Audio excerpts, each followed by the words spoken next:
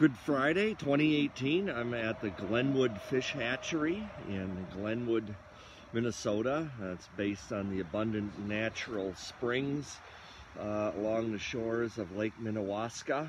And I'm just walking up the ravine that uh, is uphill from the hatchery. It's where the uh, cold water springs are located.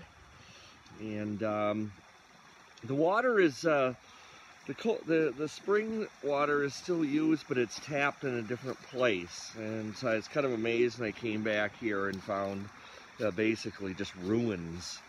Um, uh, it sounds like industrial archaeological ruins here. There's a big, uh, large stone dam that is uh, now basically been breached.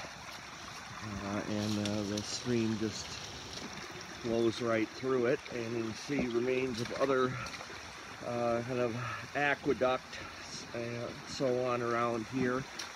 Um, and if you trace this stream, um, this boneyard of dis discarded cast iron pipes and so on, uh, you can go walk up through this uh, aquatic management area, AMA as it's called, and um, see some of the various springs that uh, contribute to the flow of this uh, very important cold water resource.